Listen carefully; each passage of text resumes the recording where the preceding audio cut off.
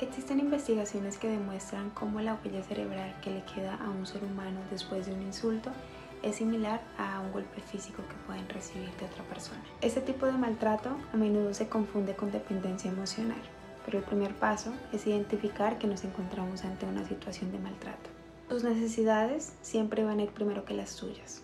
Te van a hacer sentir que no eres ni válido ni capaz de ejercer ninguna acción ni de cumplir cualquier sueño o meta que tengas en tu vida tienen una profunda necesidad de control y esto va a ser justificado en que van a querer protegerte, inclusive mejor de lo que tú podrías haber hecho por ti.